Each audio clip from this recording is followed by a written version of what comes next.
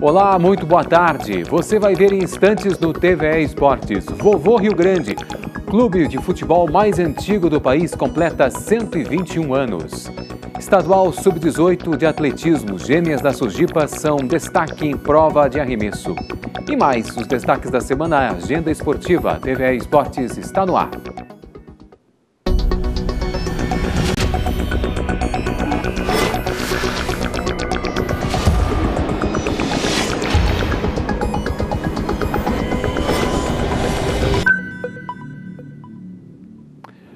Muito bem.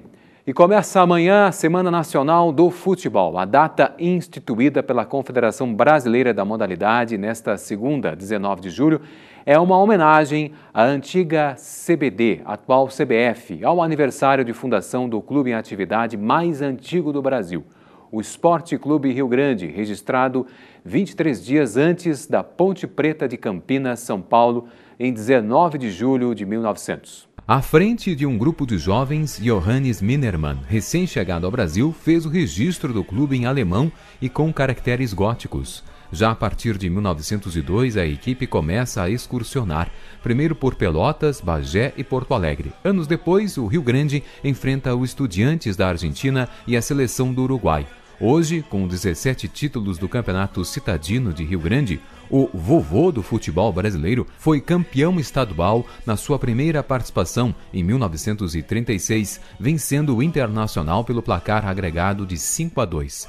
No segundo gauchão, em 1941, foi vice. Também é bicampeão do Campeonato do Interior Gaúcho e campeão do Gaúcho Série B em 1962. Em 1975, a Confederação Brasileira de Desportos envia um ofício reconhecendo o Rio Grande como o clube em atividade mais antigo do Brasil e definindo a data como o Dia Nacional do Futebol. Muito bem, a gente vai continuar falando sobre o Esporte Clube Rio Grande. A gente vai conversar agora com o presidente do Conselho Deliberativo do Esporte Clube Rio Grande, o João Moreira. Boa tarde, João. Muito obrigado pela gentileza e parabéns agora aqui a gente falando contigo. Parabéns, obrigado. Muito obrigado, Marcelo. Boa tarde a todos os telespectadores. É um prazer enorme estar aqui conversando sobre um tema que nos é muito caro, né? que é a vida do Esporte Clube Rio Grande, o clube de futebol mais velho do Brasil. É um prazer enorme. Maravilha. Qual é o segredo dessa longevidade?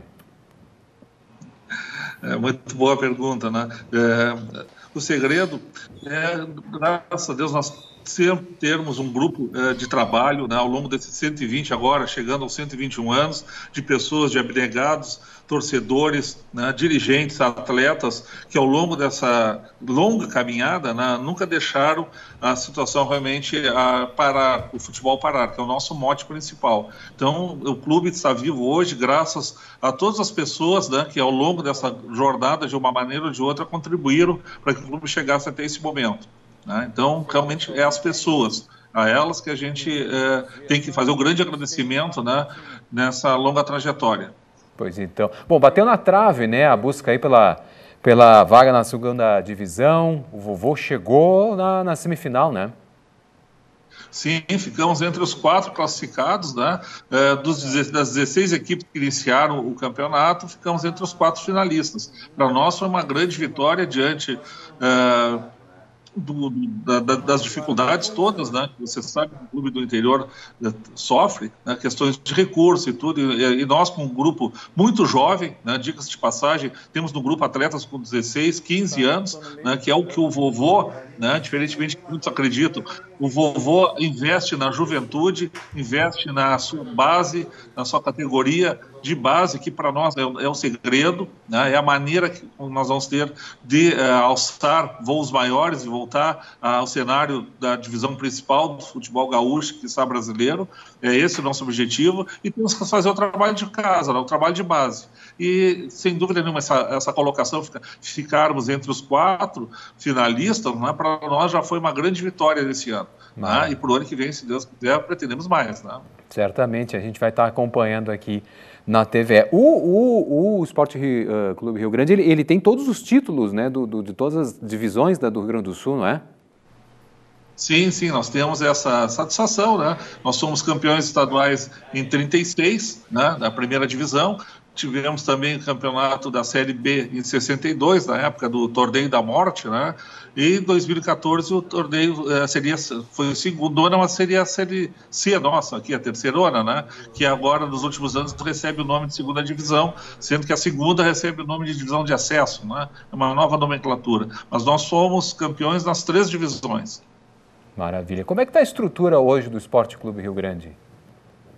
Olha, nós temos uma sede é um centro administrativo, um complexo esportivo, é, em torno de 26 hectares na entrada da cidade, onde tem um estádio, né, o estádio Arthur Lawson.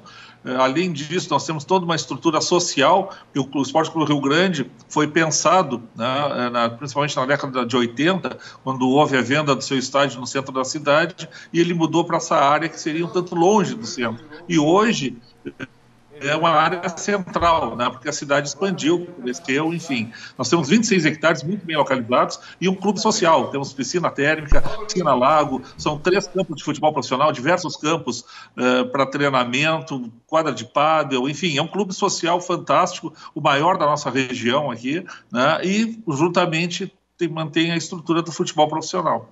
Né? Então, realmente, essa, essa é a nossa ideia. Muito bem. Bom, e, e, nesses 121 anos, muitas histórias curiosas, né? Entre elas, a, a, a Taça Cerrada, né? A taça que é, é uma das histórias que, que, que faz parte né, desses 121 anos do clube, né? É, sem dúvida. Temos no nosso, no nosso memorial, né, aqui na, na, na, sede do Complexo Esportivo, onde nós temos a nossa metade. Né? Nossa metade ainda nós temos o, a felicidade de guardar. Ele foi um campeonato que não chegava ao fim. Né? Foram várias, eh, algumas partidas e, e, penais, enfim, e não se chegava à decisão. E aí, uma decisão salomônica, né? É, resolveram partir a taça em duas. Pronto, resolvida a situação. Né? Tá bem. Eu me lembro um campeonato brasileiro também que foi mais ou menos quase isso, né?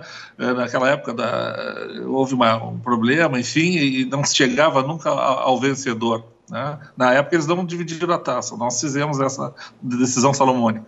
Sem dúvida. Bom, a gente não pode deixar de falar do clube sobre os grandes atletas que passaram pelo Esporte Clube Rio Grande. Teve Scala, Lambari, Neca. Quem mais? Conta pra gente um pouquinho mais dessa história desses jogadores que fizeram parte da história do Esporte Clube Rio Grande, que é justamente o futebol, né? A gente está falando de futebol, os atletas fizeram a história também desse clube, né? Sim, Sim Chinesinho, né, que jogou na Itália, né, até pouco tempo ainda era vivo e, vinha é, aos nossos jogos aqui no clube, né, Palmeiras, Itália, foi para a Itália depois. Nós temos também aqui o Neca tratou a seleção brasileira, o Valdir Lima, né, foi substituiu o Falcão na grande final do Campeonato Brasileiro, né, também origem aqui do, de Rio Grande, jogou com o Rio Grande, foi treinador do Esporte Clube Rio Grande, foi dirigente nosso, o Toquinho, grande ponteiro, fez sucesso na Portuguesa Paulista, né, Uh, nós tivemos aqui craques, uh, grandes jogadores locais que naquela na época né, haviam grandes uh, jogadores e não tinham a, a divulgação que, a, que, aconteceu com a chegada da, da, televisão, principalmente. Né? Então tivemos grandes jogadores aqui. Cajuba né, tem uma, uma, uma, situação muito, muito interessante num jogo contra o Internacional, que até há pouco tempo era o maior público do interior, internacional, Esporte Clube Rio Grande Internacional, em 75. Né? Então, aquele grande time do Internacional veio enfrentar o Rio Grande. E o Cajuba, um ponteiro esquerdo baixinho, muito atrevido, né? Foi passar pelo Figueroa a bola passou, mas ele não, levou uma cotovelada tradicional do Figueroa. Aí ficou estendido no campo, tentativa de invasão, enfim, aquela coisa toda. Eu tive a felicidade, né, não de estar presente nesse jogo, mas do reencontro. Há poucos anos, né, o Figueroa veio a Rio Grande e nós fizemos um promovemos o reencontro do Figueroa com esse nosso grande atleta, o Walter Cruz, que é o Cajuba. Né, foi, foi muito legal, muito significativo. Essa é uma das milhares, centenas de histórias do Esporte Clube Rio Grande tem ao longo dessa 121 anos aí chegando. Maravilha. Bom, até para a gente analisar, bom, tu falaste um pouco da estrutura atual do clube, como é que está a questão hoje uh, e a pandemia, né, Covid, como é que foi a questão em relação a esse período assim, pandêmico? Como é que o clube tem se encontrado nesse momento, presidente? muito difícil, né? Como todas, todos os clubes, né? realmente a, a, nossa torcida nos auxilia muito, né? Mas o fato de nós termos essa parte social nos ajudou. Nós temos um programa que se chama Sócio Empresa, onde é, empresas patrocínio de alguma forma, através, franqueio, nós franqueamos o clube, associamos os funcionários das empresas né, no, no, ao clube, e isso aí nos dá um suporte mensal razoável, que permitiu que a gente passasse esse período negro, vamos dizer assim, né, esse período muito, muito difícil. Tivemos fechados alguns meses em função da pandemia, a parte social, né? Tivemos fechado e aos poucos, com a abertura eh, e a retomada da, da movimentação, enfim, nós conseguindo todas as regras e os protocolos, nós conseguimos reativar essa parte social, os sócios estão retornando, né, todo com, com os, os, devidos cuidados, e nós estamos agora prontos, inclusive, para fazer campanhas aí, eh, angariando mais sócios, né, com o nosso programa, nosso grande programa, que é o Sócio Empresa. Muito bem. João Moreira, presidente do Conselho Deliberativo do Esporte Clube Rio Grande, nós agradecemos a gentileza conosco aqui no TVA Esportes. Parabéns mais uma vez, grande abraço, obrigado. Muito obrigado a todos, estamos sempre à disposição. Grande abraço, obrigado. Tchau, tchau. E a gente segue falando de futebol. Nos dias 31 de julho, 1 e 2 de agosto, o Esporte Clube Rio Grande tenta o 18º Campeonato Citadino de Rio Grande. Mais futebol você confere na agenda do TVA Esportes.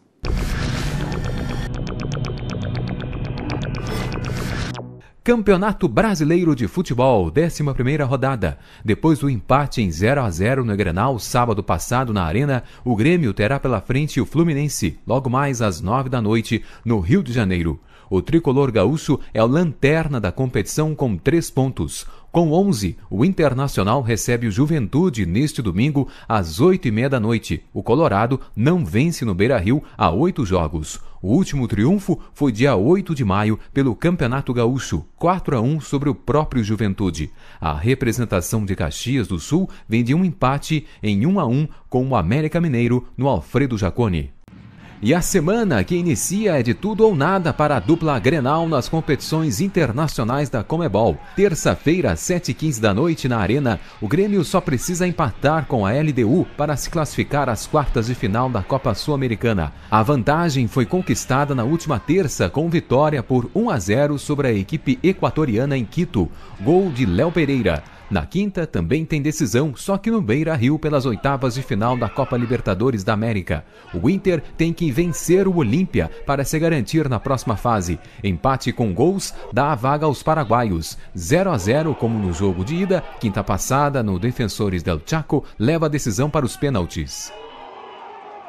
TV Esportes faz agora um breve intervalo, a gente volta daqui a pouco. Não sai daí.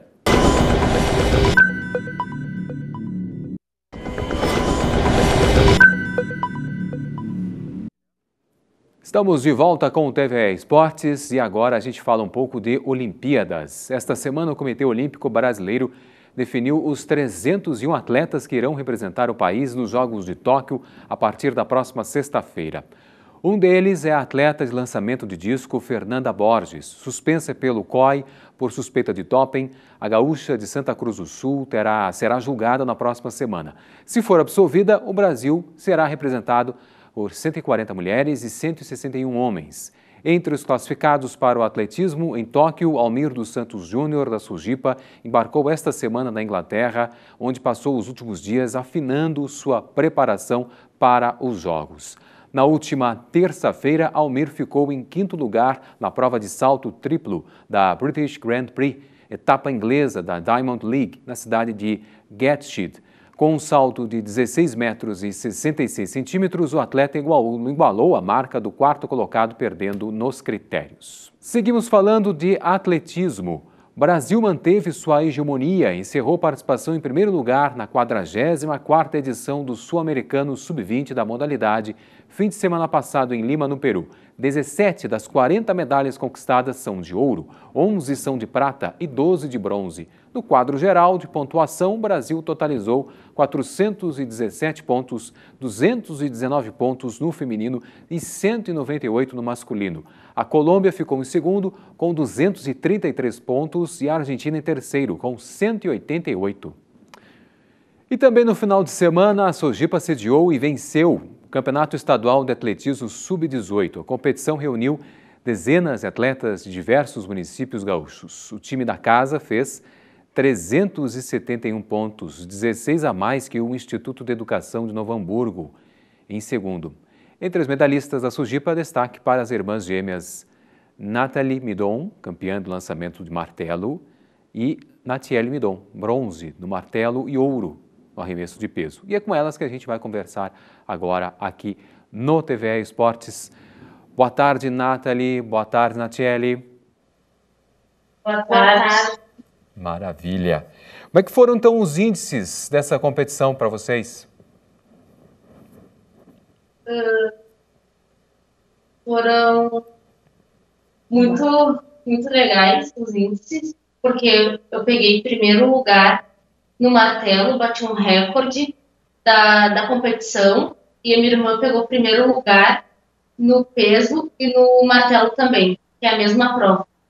Maravilha. Dá para sonhar com Olimpíadas em 2024, é isso? Sim. É, show de bola.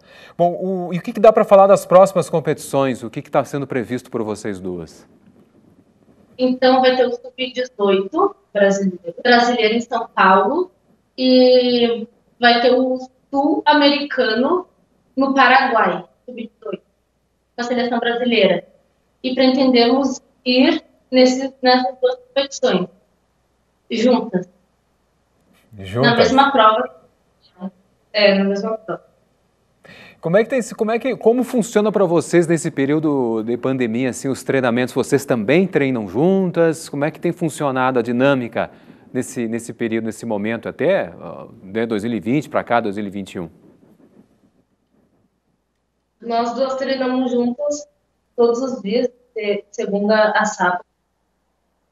E com isso, com a pandemia, deu uma atrapalhada no treinamento, no também.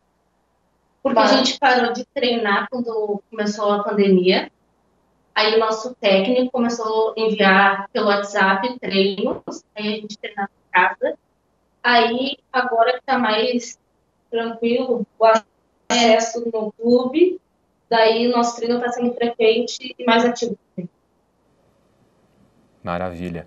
Como é que, como, como é que foi a história de vocês duas para essa, essa modalidade? Tanto arremesso martelo, peso. Como é, quando começou? Como começou?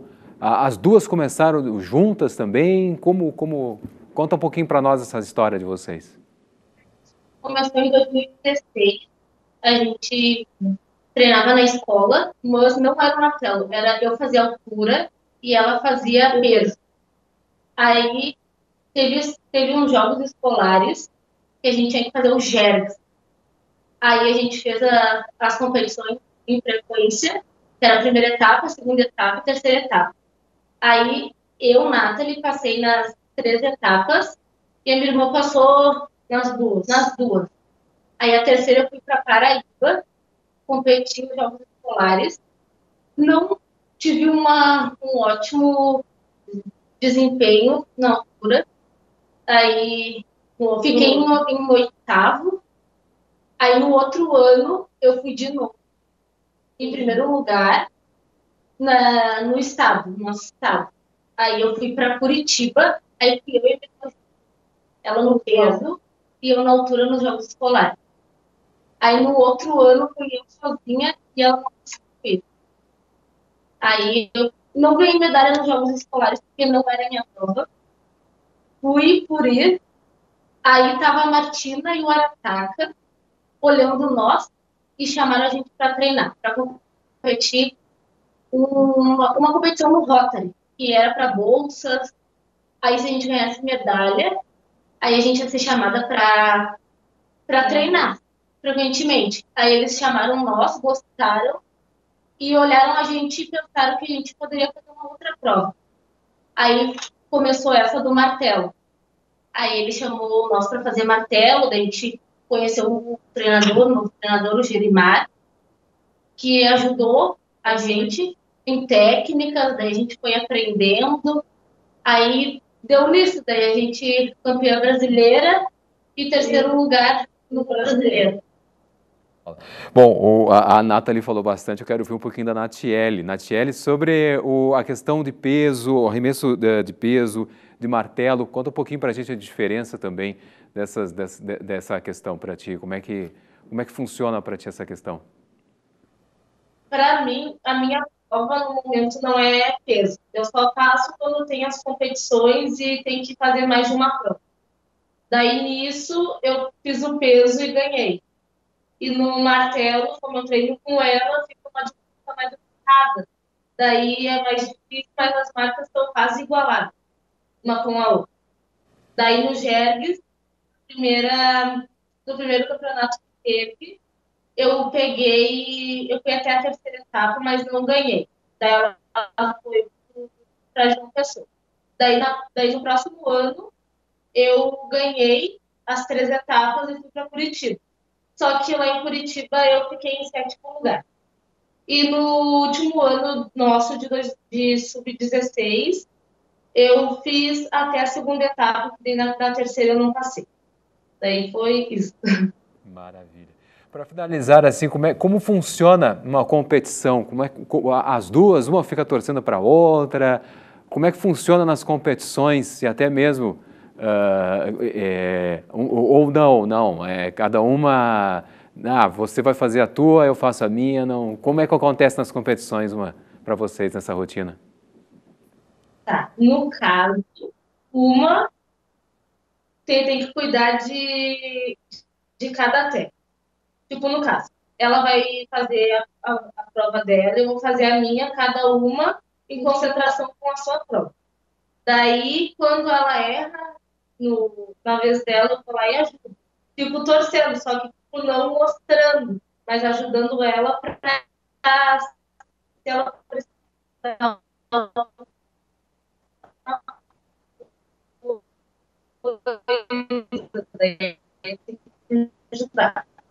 É, eu também fico torcendo muito e ela também melhorar a marca dela e eu também melhorar a minha marca.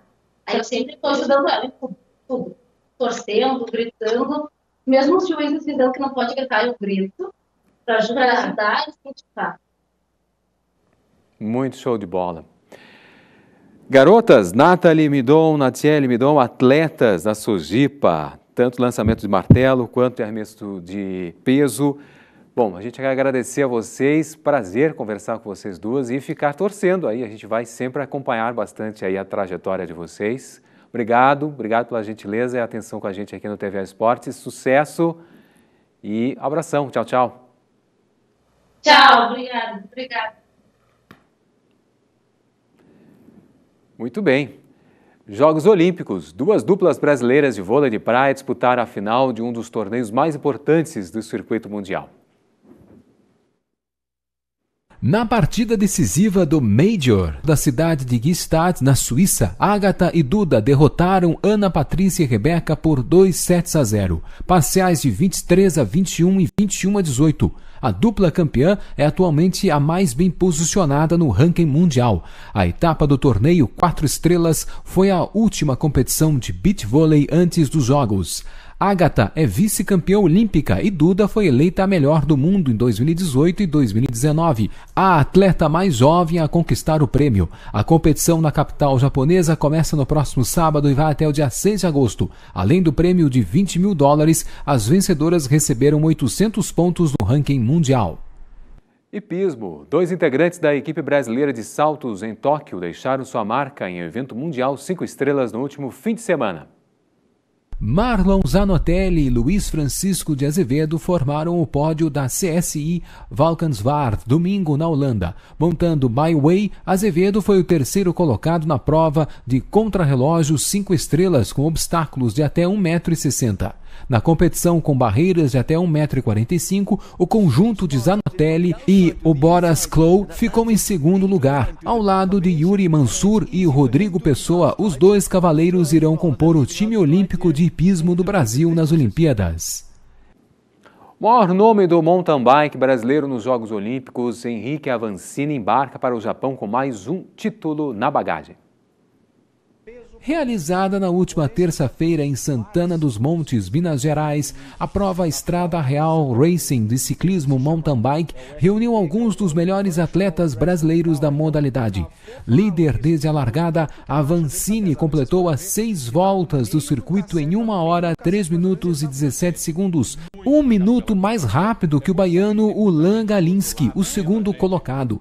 Entre as meninas, vitória de Letícia Cândido, seguida de Karen Olímpio. O número 1 um do Brasil volta às pistas dia 26, na abertura da prova de cross country masculino nos Jogos de Tóquio. A equipe da Serra Gaúcha foi a mais premiada na prova que abriu o Campeonato Gaúcho de Mountain Bike Downhill 2021, domingo, em Nova Prata. Tradicional circuito de provas de ciclismo ladeira abaixo, o Downhill do Basalto, em Capela de São Roque, Nova Prata, reuniu dezenas de bikers no final de semana, ansiosos pela retomada das competições pós-pandemia. A equipe Bike Companhia de Farroupilha e Caxias do Sul largou na frente no campeonato com as vitórias de Laís Rezadori na elite feminina, Douglas Loss na Master A1 e Rafael Colombo na Master A2. A promoção é da Federação Gaúcha de Ciclismo. O cartódromo de Venâncio Aires recebeu no último final de semana a segunda etapa da Copa RS de kart. Depois dos treinos livres realizados no sábado, no domingo, pilotos e máquinas invadiram o circuito para as tomadas de tempo e as disputas de baterias, duas para cada categoria. Destaque ao final das duas etapas para Ronaldo Fabro, na categoria Speed Kart, Bayard Santos na Super F4, Bruno Sgali na Graduados, Juliano Auler na Sênior e Daniel Claudino na KZ. Stock Car Pro Series. Piloto gaúcho chega em segundo lugar em dobradinha com o vencedor da corrida, domingo passado em Cascavel, no Paraná. Mais veloz entre os circuitos da Stock Car, o Autódromo de Cascavel sediou duas provas nesta quinta etapa da competição. Na primeira, domínio absoluto de Thiago Camilo, da Pole Position à.